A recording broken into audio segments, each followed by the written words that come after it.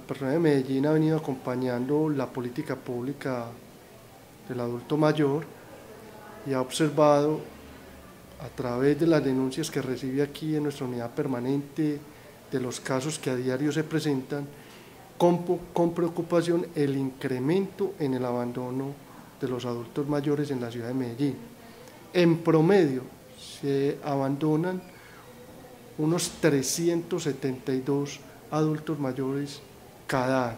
Es una cifra escandalosa y es una realidad que como ciudad debemos de empezar a trabajar, no solamente desde la institucionalidad, sino desde la sociedad.